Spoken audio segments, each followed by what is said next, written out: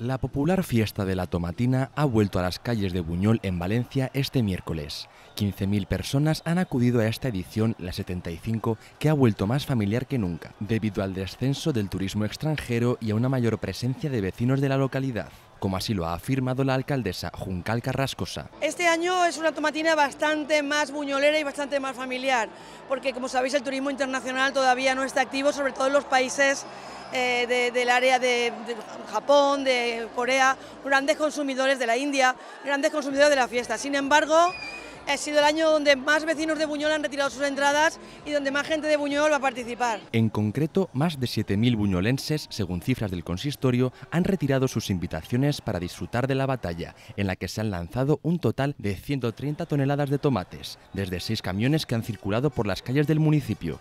Por su parte, los vecinos se han mostrado muy felices de poder celebrar de nuevo su fiesta grande y de reencontrarse con la gente. La gente, todos, teníamos esas ganas y como este año encima hemos salido más gente del pueblo, ha sido muchísimo más emotiva, ¿no? Ha sido más, no sé, no lo puedo explicar.